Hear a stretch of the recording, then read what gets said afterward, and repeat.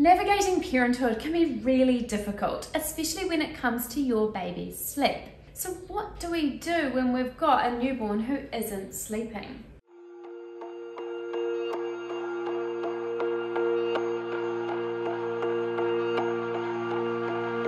Today's question is, will your program work for a five-week-old?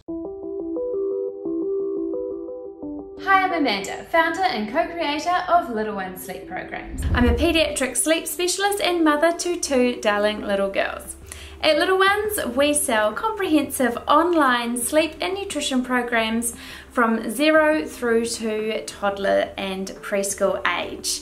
We do this via our custom built app where we have our fantastic programs and we also house our amazing support village for our customers where our trained sleep consultants and our dietitian are there to answer any of your questions day and night. Make sure you visit us at www.littleones.co if you need any further help and that is also where we have our sleep program. So back to the question of will our program work for a five week old? To get a newborn to be sleeping really well, it does depend on a lot of factors. But with a five week old, the key to getting them to sleep well is mostly looking at their awake windows rather than a regimented put your baby down here and wake them here. You know, it's more looking at their awake windows, making sure they are actually getting the optimal awake time so that they do sleep well at their nap and therefore making sure they also sleep enough during the day so that they sleep well during the night for you. So yes, our sleep program does work for a five week old and it does show you exactly what those perfect and optimal awake windows and awake times are and if anything goes wrong throughout the day we have loads and loads and loads of troubleshooting to help you reshuffle and reorganize your day should something go wrong that's sort of how our program works in that newborn period because it's not, uh, babies aren't all the same at that age. Things go wrong. They may wake from a nap being hungry or cold. So you need to know how to adjust your day. And that's exactly what our sleep programs go through.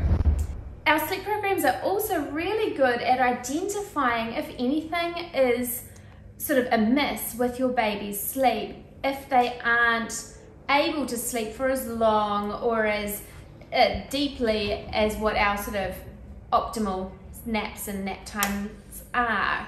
This can really highlight if anything is going wrong with your little one's sleep. For example, if they're waking hungry, uh, or if they're not feeding very well, and or if they've got excess wind, or over or under tired. It can really highlight those things to help you understand your baby a little bit better. And the good thing with newborns is you get a fresh start the next morning to start your day afresh and learn from what happened in the past. So in terms of working for a five week old, we've got thousands of customers with newborns and I certainly, I started my own children at that really young newborn age and it's just really, as I said, working on those awake times and making sure you're getting the optimal naps through the day so that it helps consolidate that nighttime sleep as well.